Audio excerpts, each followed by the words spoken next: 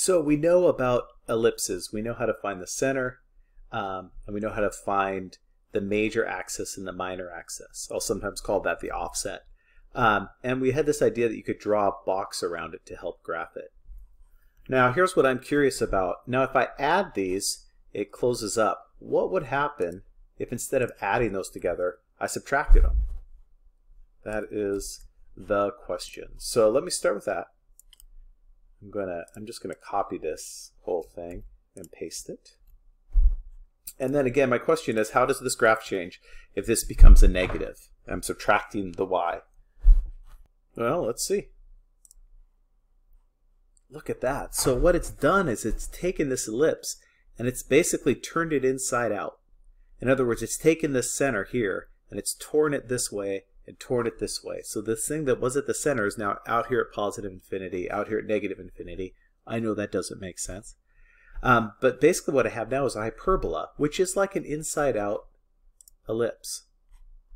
Now thinking about that, I'm going to sketch some things on here.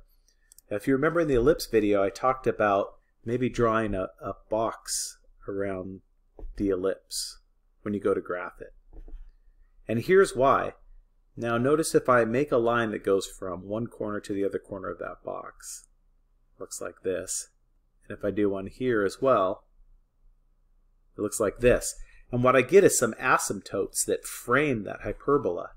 So this idea of creating the uh, creating the box that it could sketch the hyperbola the I'm sorry, the ellipse on the inside helps me think about what the frame for the shape of the hyperbola is going to look like as well. Even though all the parameters are the same, the only difference is I'm subtracting instead of adding. So notice uh, when I subtracted y, the y value, uh, I made this term negative, it goes left and right. It's like x minus y, it kind of looks like an x. That's not really mathy, but whatever, we'll take it. Uh, what if I went the other way? What if instead of subtracting the x, I the term, I subtract the y term, same idea, I still have the box, but it turns it up and down instead of uh, instead of left right. All right, so let's then think about if we had a hyperbola. Uh, I'm going to have something like x plus 2, that quantity squared. Let's uh, divide it by 16, and I'll subtract uh, y plus 4. That quantity is going to be squared, and I'll divide it by 9 equals 1. Okay, I want to try and sketch a graph of this. So I'm going to try and do it by hand from all the pieces that I know. So first off, I know my center is at negative 2. What makes that a 0? Negative 4. What makes that a 0? So negative 2. Oh, let me change my scale. Sorry. There we go. Negative 2, negative 4. So there's my center right there. Now, my major axis is um, going to be dictated by this number. So that 4 is my major uh, radius. 1, 2, 3, 4. 1, 2, 3, 4. And then I have this other one, this 9, so I have an offset of 3, 2, 3 in that direction, 1, 2, 3. And again, what I like to do is I like to sketch the box, the rectangle really, because what that helps me do is think about the frame. Corner to corner,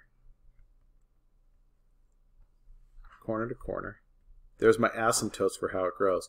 And now this is x squared minus y squared. So I know it's going to go left and right there's one part of the hyperbola, there's another. So the hyperbola itself is really this.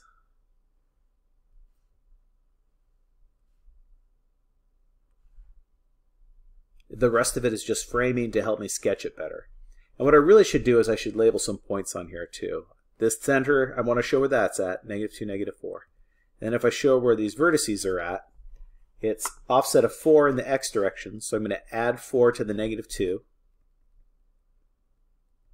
2, negative 4. And subtract 4 from the negative 2. Negative 6, negative 4. And that shows my vertices. Great. Uh, one thing I want to add is, there's my graph like that. What if instead of this, it had been, um, I'm going to change it to y plus 4 over 9. I'm just going to switch them. So instead of subtracting the y term, it's going to subtract the x, what I'm calling a term.